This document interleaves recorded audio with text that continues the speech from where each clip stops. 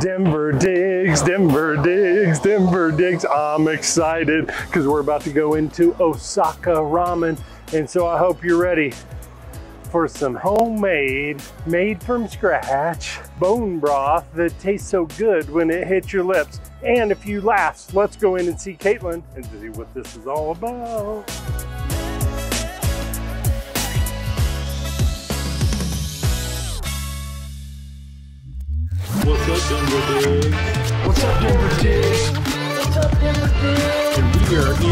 Treat. Let's do this.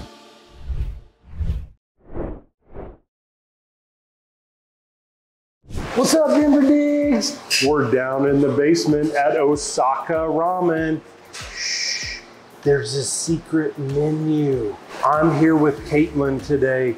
Caitlin, thank you for having us. Thanks for coming down. Really appreciate it. We're gonna share the secret today. We'll get to that. Mm-hmm. Let's start with how this ramen starts because Jeff, the owner, has like mom's family recipes. Most people have got lasagna or some kind of noodle dish. Or for my mom, you know, it's the secret taco she makes. But for Jeff, it's the secret ingredients in the ramen. Tell us how it starts from scratch to go into a delicious bowl of ramen.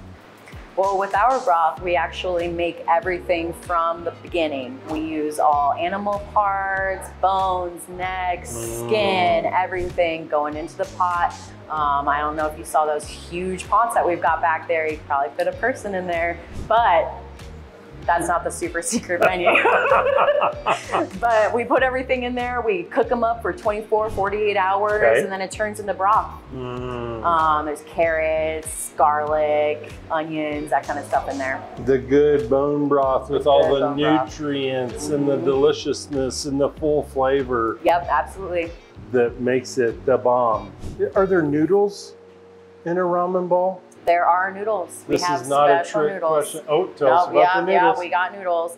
Um, so Jeff's been using the same recipe. It's we're the only ones that use this recipe out of Okay. Sun Noodles. They're a famous noodle place down in San Francisco, and they make them just for us. It's been the same ones all these years. I think they're particularly delicious. I love it.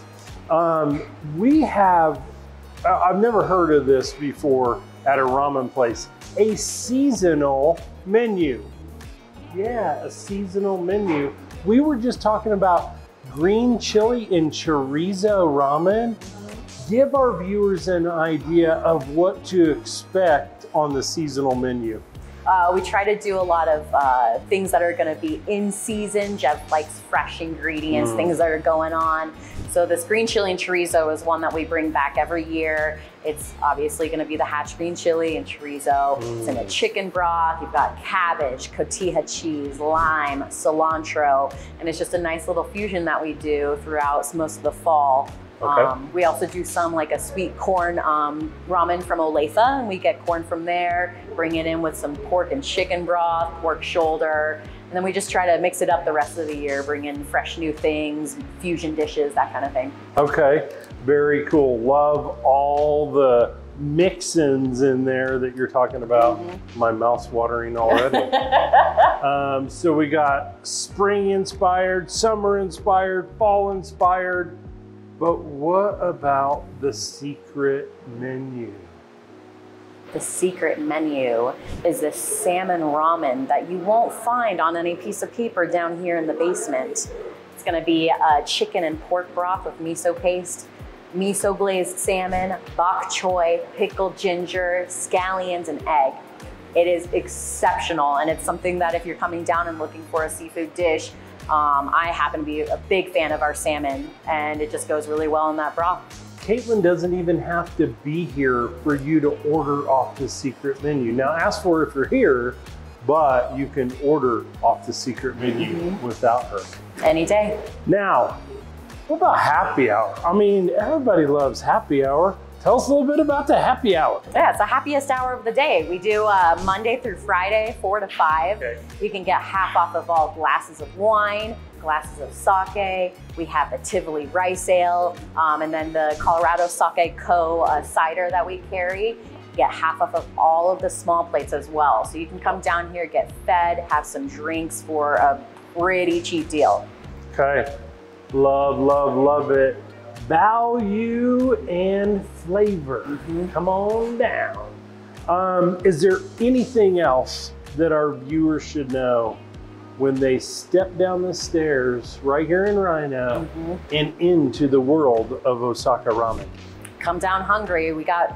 We're not just known for our ramens. You know, we have some exceptional small plates. The chicken karaage, I think, is one of my favorite things in town.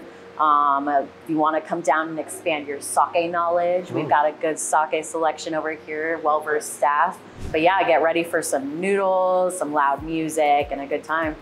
Boom!